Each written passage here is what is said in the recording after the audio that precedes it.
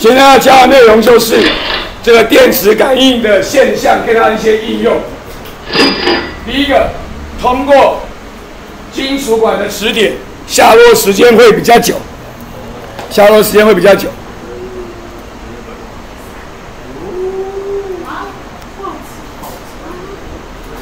这里有个管子，这里是有一个铁，就是铁，放下去理论上叫做自由落体，所以它就很快就掉下来。大一点啊，这个是一个磁铁，看不到？形状基本上是完全一样，大小都完全一样。现在把它放进去，不见了不见了，哦很久才会掉下来。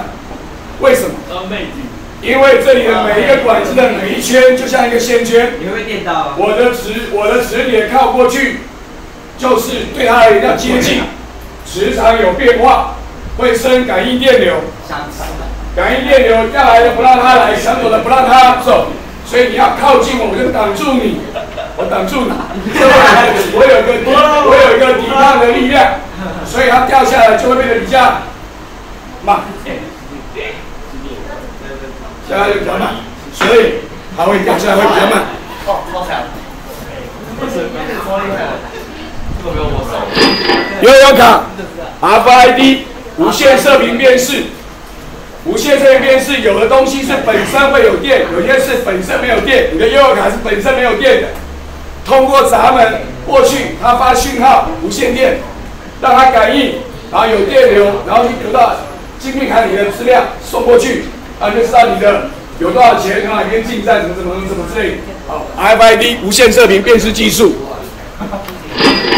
电磁炉涡电流，我们不仔细说，你可以用涡电去查资料，查了资料涡电流，理论上理论上，金属的锅子都可以用，但实际上你会发现有些锅子不能用，那是它里面做了某种设计，不让你有些它不让你用，朋友不让你用，OK。变压器待会简单提一下，发电机是我们的重点，发电机又是我们的重点。变压器，电磁感应的原理，电磁感应的原理，来把我的电压发生变化，叫变压器。我有两个线圈，左边是进来的电流，右边是出去的电流。左边进来的，左边进来的是一个交流电，所以电流有变化，所以磁场会有变化，所以右边就会感应，就会有感应电流。感应电流，然后呢就送出去，那进来的跟出去的不太一样，所以产生了变压，产生变压。进来是交流电，磁电流一直变化，磁场一直变化，所以出去被感应的也一直在变化，所以出去也是交流电。就是我们讲过我们的输配电用交流电的原因，因为交流电很容易这样子把它升压或者是降压，啊，所以不断的进来交流电。我的交流电也有变化，感应电流也有变化，所以爸爸。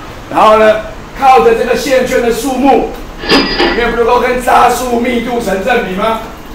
可以靠着这个线圈的数目，我就可以让我的电压是增加的，或者是减少的，不用管。有些参考书，甚至补习班老师有教你公式，什么 N 1比 N 2的，通通当做没看到。国中。不做任何的计算，国中不做任何的计算，不会问你说我这样设计进来一百伏特，出去几伏特，没有这种东西。国中只要知道变压器的原理是什么，电磁感应就可以了。